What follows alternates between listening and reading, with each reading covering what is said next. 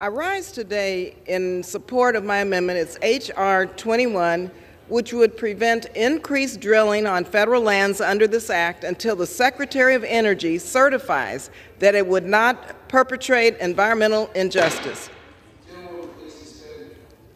The room is not in order. Could you please take your conversations off the floor?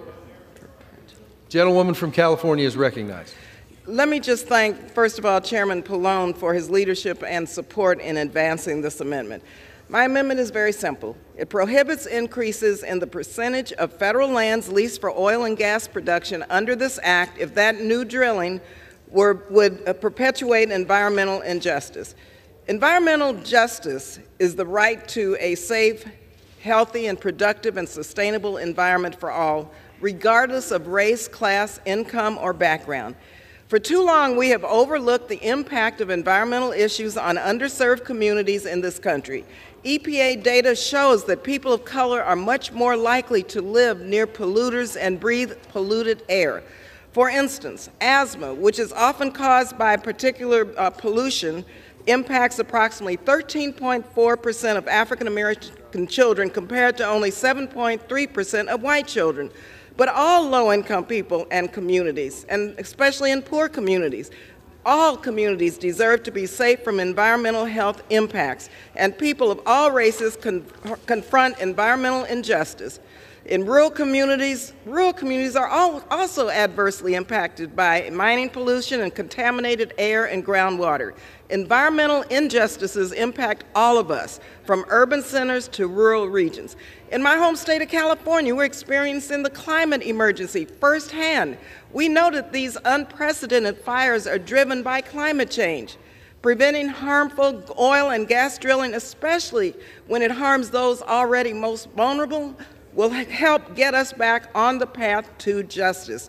This amendment builds off of the A. Donald McEachin, our beloved late colleague, his Environmental Justice for All Act that I am proud to co-lead with Chair Grijalva, which sets the stage to begin addressing the long history of environmental racism and injustice in the United States. Now, Mr. Speaker, this fight for environmental justice is also very personal for me.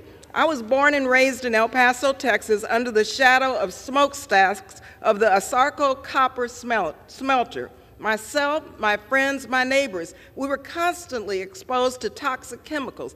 I watched so many people close to me, including family members, suffer with major health challenges because of lead that spewed from that plant.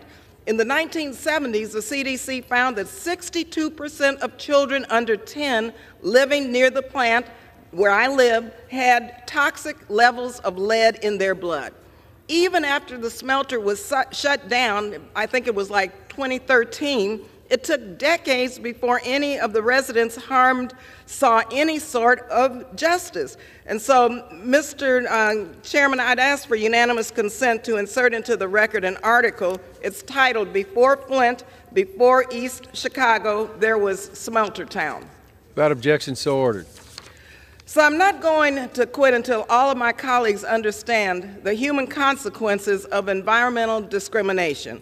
And I ask my colleagues to consider the people, the families who every day bear the unequal and unjust consequences of our addiction to fossil fuels. As President Biden has said, justice must be at the heart of our response, and my amendment does just that. I urge my colleagues to vote yes on this amendment. Thank you, and I reserve the balance of my time. Oh, okay. The gentlelady is advised you can't reserve for time, so Thank you. If, if you're ready to yield back, I'll- that'll I'll be in yield- order. I'll yield my time. Thank you.